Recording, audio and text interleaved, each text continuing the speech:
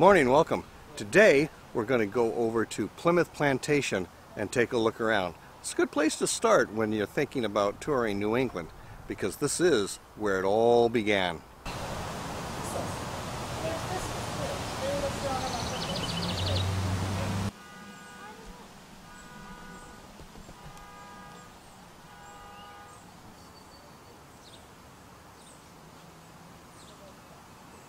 We start by going into the Henry Hornblower II Visitor Center. Wasn't there a captain named Hornblower? Horatio Hornblower. Yeah. So once you really get out of the movie, then uh, there's this little museum that has some artifacts and uh, uh, recreations of what they would have had to deal with on their way across the sea and when they arrived. So what we have here is a binnacle. Now this would not have been on the Mayflower. This is something that they've equipped the current Mayflower with uh, in accordance with uh, 1957 requirements for navigation. But this would not have been on the original.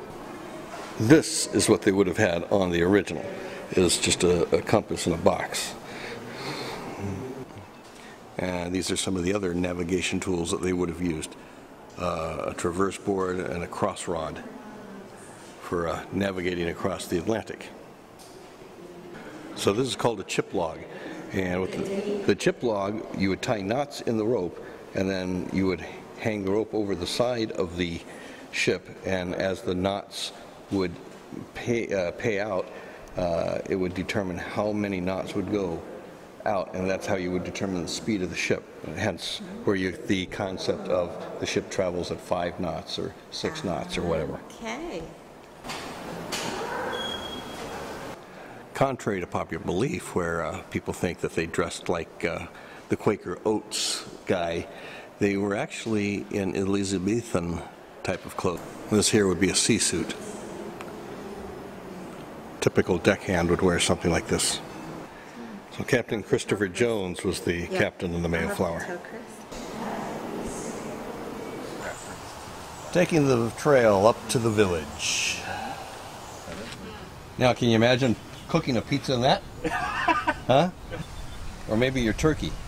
Yeah, there you go. Cook your turkey in that. Yes. So, Plymouth Plantation Museum is like a living museum where people are actually uh, doing the various chores and they're in costume. And you can walk down from the central house down through the center of the uh, uh, village here with all the recreations of the cabins. You can go into the cabins and look at the how they lived, and uh, each one has a different name of the different family that was on it. So let's take a look at some of those things. I'll start with one that's being built right now. Uh, the people who were with it didn't realize how thick the thatching was on the roof. Look at that. It's pretty thick.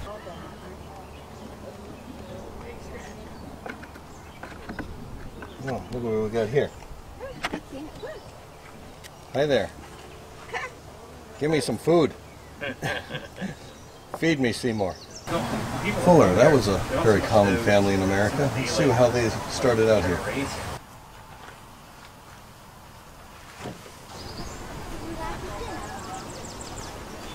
So the house down at the very end of the avenue here is called the Soule House. That's the Soule family. It's actually the Children's Discovery Center. Let's go inside and see what they've got for the kids to look at. Welcome to the Children's Discovery House. Things for them to try out.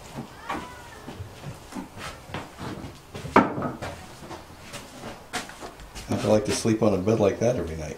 Having a hot height of luxury for them. Yeah. Here's where all the cooking would be done, right in the corner of the house. And all the smoke and soot would go right up the side the chimney. That was open right into the central living quarters. And I'm sure this was the woman's best friend, the broom to keep all those dirts and critters and chickens out of the house. There's the shutter would actually hinge down to cover the windows. Because there was no glass. Everything was just open air. Of course, they had to grow everything. If they didn't kill it, to eat it. There's quite a great number of children here in the time, Marston. and like to be more and more and more in such for us. Fair number of young families here in such in the town. Say that again. Don't be calling them Brad. Yeah, I don't know that Hollywood's going to discover you. Pink and basket. very helpful. And they'll make a profit off of it. But we are just paying with our labor to own land at the end of our contract. See, even if you come back in three years. We're cooking something here. Pottage, she said. I'm sorry, what? Pottage. Pottage. of turkey. So, um, boiled up a turkey yes tomorrow, but they're so large here, we've always got a little bit left. Uh, so the broth of such we saved, and some of the meat as well, some of the bones, and then boiled it up with some oats that we have, and then as well uh, some seasonings. That fire puts out a lot of heat for the, the little room. and see how that would warm the place. Oh yay. Uh, first winter I was here, my sister and I got stuck into our house without anybody else, middle of a snowstorm.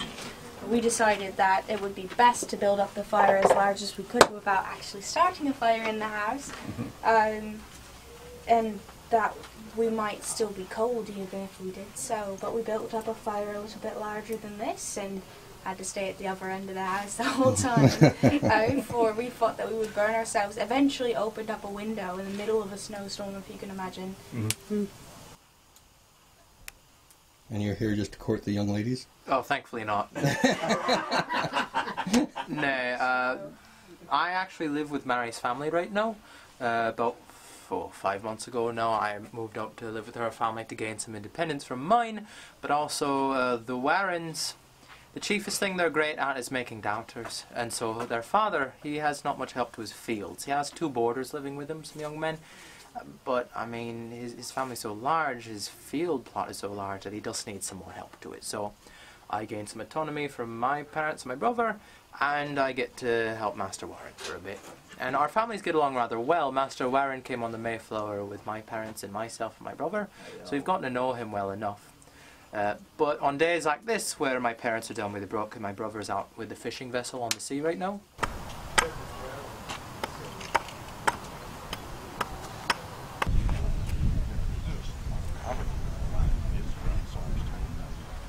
And there are stones around here. I don't mean to say that, but they're just rubble stones. They're not. No, better now though. There's some some settlements up the coast here, and uh, and of course, I mean Virginia and places like that too. But I mean that's pretty far too. You'd probably walk into there if you had to. And this fellow has a proper fireplace, not just a corner of the room. Yeah, nice, respectable wood pile next to it. He actually has a wood floor instead of a dirt floor. Yeah. That was that was luxury. Right. Once again, they have a broom in here, which is really convenient for keeping the chickens out. The bed is pretty much just a burlap sack put on a frame here. I'm not sure what they've got inside the sack. Doesn't doesn't feel like straw. Feels a little more. Yeah, it might be might be down. Yeah. And it's a road bed. And actually, Another building under construction or refurb, maybe.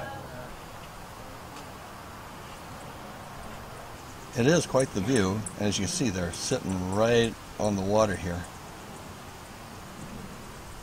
There's the cornfields. Getting good pictures? Hope so.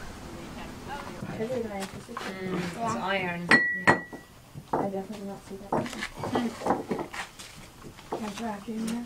All right, actually, they found a big.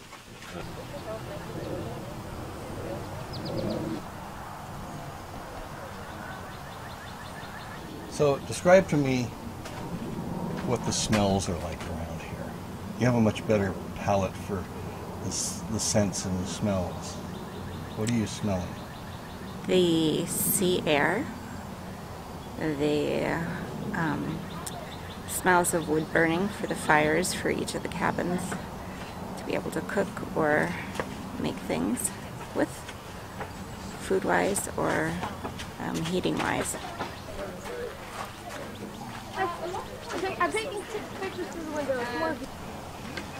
And this here would be their defensive position. Also, it served as the worship center for the community. Uh, they would hold church here every Sunday, all six hours of it. So this would have been the meeting house, or more appropriately, a fort if they were under attack. Artillery on the second floor for defensive positions.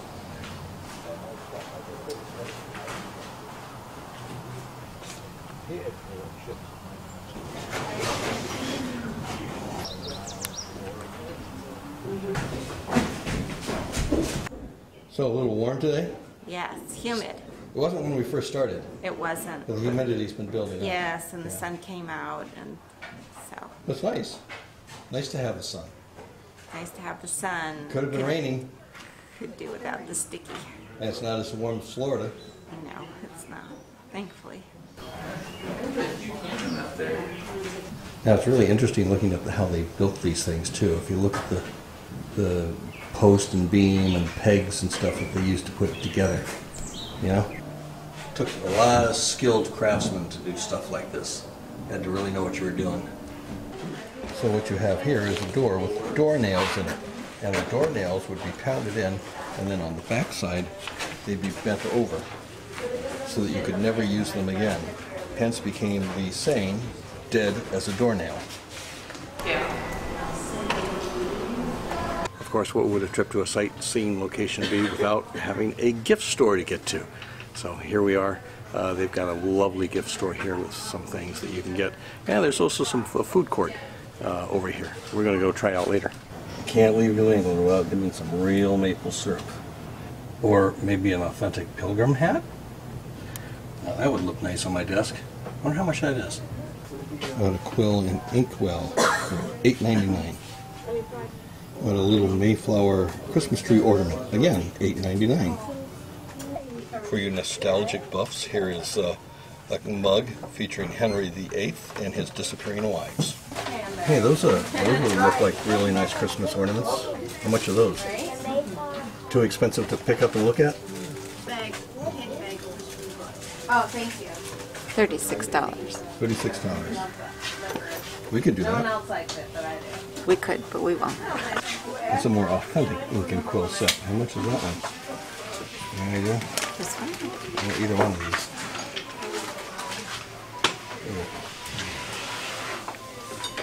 Sixty-five ninety-nine.